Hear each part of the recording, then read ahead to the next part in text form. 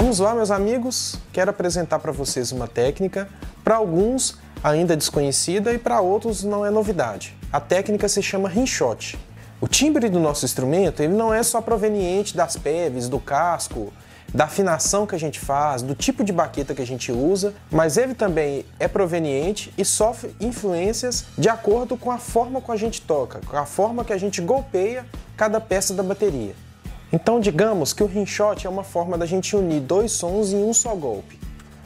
Quando a gente aplica o rinshot, a gente tem o som do aro junto com o som da PEV da caixa. O rinshot é a união desses dois sons.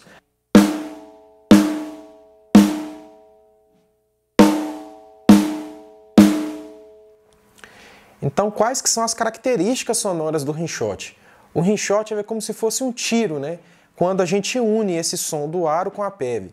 Ele traz mais volume para a caixa, mais presença, mais ataque, entendeu? E um pouco mais dos harmônicos também. Vamos ouvir mais uma vez.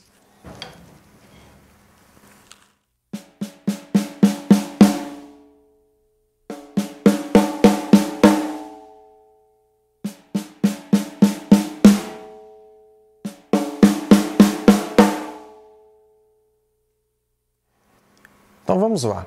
Nós temos três formas de fazer o rinshot. A primeira forma é o que eu gosto de chamar de baqueta cheia, né? A gente vai golpear a caixa pegando no aro e na PEV com praticamente 70% da baqueta. Então aqui, um pouco abaixo do meio da baqueta, a gente vai direcionar a ponta da baqueta no centro da PEV e o meio da baqueta no aro. É o que eu gosto de chamar de rinshot cheio, né?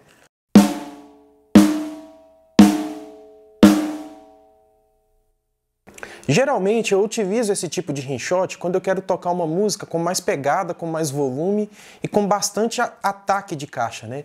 Quais estilos que pedem isso? Rock, metal, hardcore, enfim, tudo aquilo que exige muita pressão sonora da bateria, né?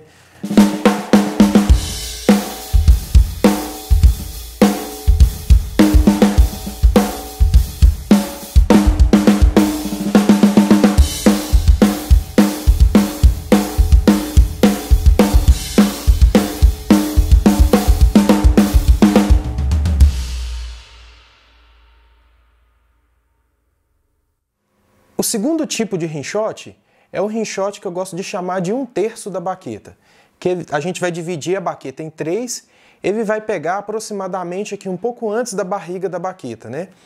Agora nós vamos retirar um pouco a baqueta do centro da pele, ela vai ficar um pouco na lateral, pegando um terço da baqueta próximo do aro. Percebam que agora a gente tem um som de caixa mais médio, continuando com aquele timbre mais volumoso, mais com mais projeção e com bastante harmônico também.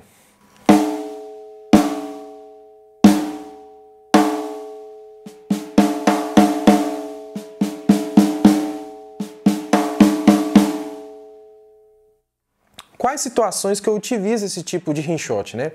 Quando eu quero tocar música pop, por exemplo, que eu quero utilizar o rinshot para trazer aquele volume, aquela presença de caixa, mas sem ser tão atacado, tão pesado como o rinshot cheio. Quero aquele rinshot com ataque que traz em evidência ainda mais os harmônicos da caixa, né?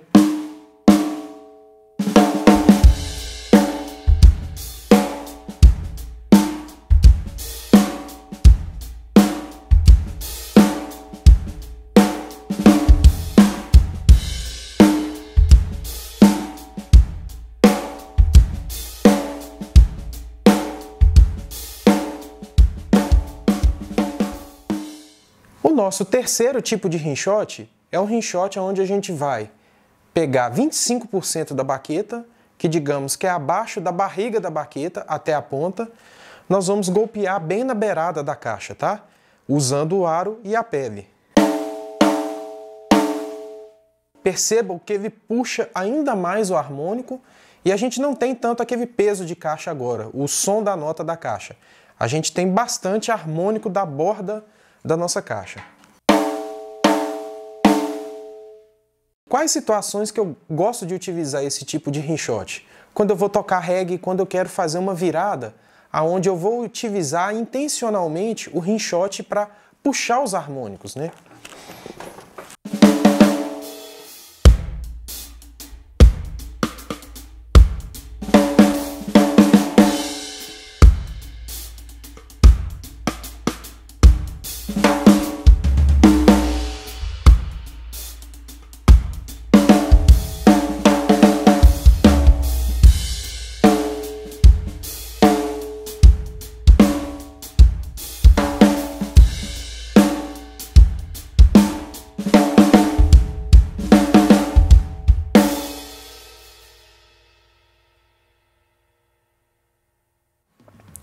Então é isso aí, pessoal. Agora que a gente viu as três formas de utilizar o rinshot, nós vamos analisar um pouco mais a finalidade do rinshot, né?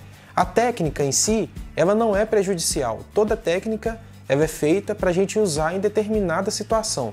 Ele, em momento nenhum, estraga o nosso som, prejudica o nosso som. Ele só vai prejudicar o nosso som se a gente utilizar ele no momento errado ou de forma errada, entendeu? É, eu quero mostrar para vocês como que o som da caixa se comporta graficamente com rinshot e sem rinshot, tá bom? Vamos perceber.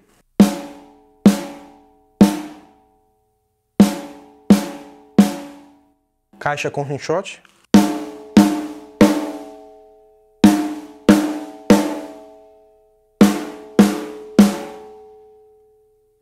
Percebam graficamente que a caixa sem rinshot ela tem um volume padrão.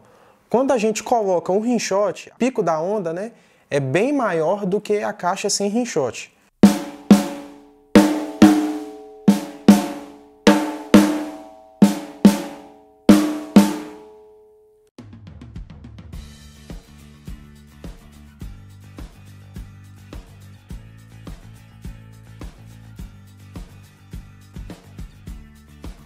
E aí que mora a grande questão e o perigo que acaba estragando o nosso som. Durante a nossa tocada, o nosso groove, várias vezes a gente acaba golpeando no centro da caixa sem rinshot e alguns golpes com rinshot. E o que que isso faz? O sinal da sua caixa fica variando o tempo inteiro. Então é isso aí, meus amigos, finalizamos mais essa aula, mais essa dica. O importante disso tudo é que você saiba utilizar as duas técnicas, tanto sem rinshot, tanto com rinshot, tá? É, evite de ficar variando a sua pegada, a sua forma de golpear durante a mesma música, porque isso pode prejudicar o seu som. É isso que torna a técnica rinshot prejudicial. Você utilizar ela dentro de, digamos, quatro compassos, uma, uma hora você utiliza rinshot, outra hora não. Você ficar variando dentro disso, entendeu? É uma técnica que está aí ao nosso favor para a gente saber utilizar, saber tirar som dela, tá bom? Obrigado, gente. Até a próxima.